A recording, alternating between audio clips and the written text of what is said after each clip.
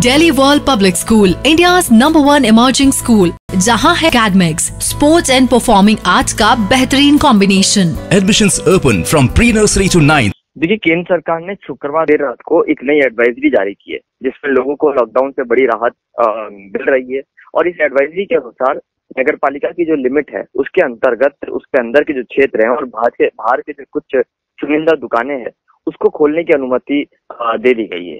हालाँकि ये कंटेनमेंट जितना भी जोन है और हॉटस्पॉट इलाके हैं, उनके लिए किसी प्रकार भी ये गाइडलाइन जो है वो लागू नहीं होगी। इसके साथ ही 15 अप्रैल को जब सरकार ने लॉकडाउन के दूसरे चरण की घोषणा की थी तो गृह मंत्रालय ने ग्रामीण इलाकों में मार्केट कॉम्प्लेक्स और रिहायशी इलाकों में कुछ दुकानों को लॉकडाउन में छूट दे दी थी। लेकिन अब गृह मंत्रालय ने रियायत में बदलाव कर दिया है। जो नई एडवाइजरी जारी हुई है, उसके मुताबिक शॉपिंग कॉम्प्लेक्स हैं और जो दूसरी एक्टिविटीज़ एक्टिविटीज़ हैं और जो रियायत की सूची से हटा दी गई थी, उन्हें बैन किया गया था। सरकार ने उन तमाम शॉपिंग कॉम्प्लेक्स को अब नगर निगमों और नगर पालिकाओं के लिमिट के भीतर मार्केट कॉम्प्लेक्स के साथ रिप्लेस कर दिया है।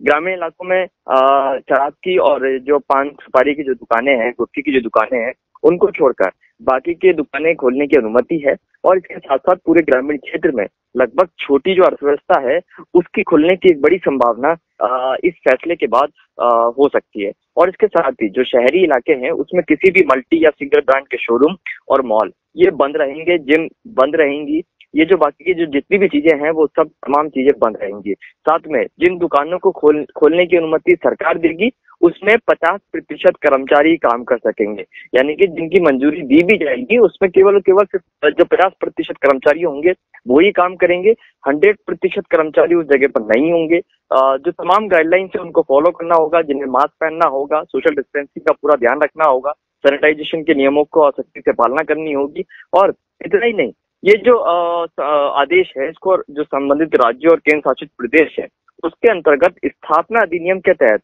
सभी दुकानों का रजिस्टर्ड होना अनिवार्य होगा। अगर वो रजिस्टर्ड होंगी तो ही इस रियायत का फ़ायदा वो उठा पाएँगी। और अगर दुकान रजिस्टर्ड नहीं होगी तो उसे खुलने की अनुमति नहीं जाए मतलब नहीं दी जाएगी। इसके साथ ही इस आदेश के आने के बाद सभी में खुशी तो है, लेकिन यहाँ पर ये स्पष्ट होना भी बहुत ज़्यादा ज़रूरत, ज़रूरी है कि इस आदेश के बाद राज्य सरकार का फैसला भी आना बाकी है। मुख्यमंत्री अशोक गहलोत का फैसला भी इसका उस पर करना है और जो केंद्र सरकार की नई गाइडलाइन आई है, उस पर राज्य सरकार फ़िलहाल कोई निर्णय राज्य सरकार की ओर से नहीं आया है। लिहाजा अजमेर में भी अभी व्यवस्थाओं में किसी तरह का कोई बदलाव नहीं होगा। केंद्र सरकार की नई गाइडलाइन पर जो अशोक गहलोत सरकार है, वो अध्ययन कर रही है, इस पे बैठक चल रही है और बैठक के बाद कोई निर्णय होगा और उस निर्णय के बाद में सीएम स्तर पर इसका फैसला होगा और उसके बाद अजमेर का जो जिला प्रशासन है, वो इस मामले में आगे अपना कदम बढ़ाएगा और वो स्पष्ट करेगा कि आखिरकार अजमेर के किस एरिया को रियायत मिल सकती है या नहीं मिल सकती है। लेकिन फिर हम हमारे दर्शकों को बताते हैं कि मुख्यमंत्री को इस पर अभी फैसला करना है। केंद्र की ओर से जो गाइडलाइन है, वो आ चुकी है। लेकिन राज्य सरकार की ओर से फैसला आना अभी बाकी है।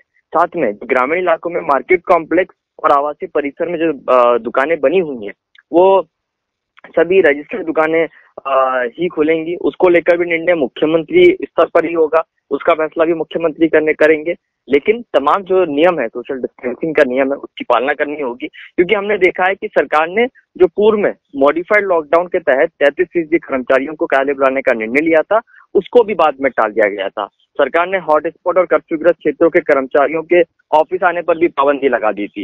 इसीलिए अब जो भी फैसला होगा, वो मुख्यमंत्री अशोक गहलोत को करना है और सूबे में नई गाइडलाइंस को कैसे लागू करते हैं, क्या नई रियायत देते हैं, ये जो रियायत गृह मंत्रालय की ओर से गाइडलाइन आई है, इसकी पालना राजस्थान में होनी है या नहीं होनी है, किस तरीके से होनी है, ये तमाम आदेश मुख्यमंत्री अशोक गहलोत को करने हैं। तो अभी तमाम लोगों को इंतज़ार करना चाहिए क्योंकि लगातार एनपीटी इंडिया के पास सूचनाएँ और जो दर्शक है हमारे, वो लगातार फ़ोन कर कर ये जानकारी पूछ रहे थे कि उनकी जो दुकान है वो खोल सकते हैं या नहीं खोल सकते हैं। तो इसको लेकर बिल्कुल स्पष्ट हो जाए कि आप तब तक अपने दुकानों को नहीं खोल सकते हैं जब तक कि राज्य सरकार का मुख्यमंत्री अशोक गहलोत का कोई फैसला नहीं आ जाता है और उस फैसले में जो चीज़ें बताई जाएँगी केवल वही दुकान अपनी खोल पाएँगे। ऐसा नहीं है कि तमाम जो शोरूम्स है, तमाम तमाम जो दुकानें हैं, वो शुरू हो जाएँगी।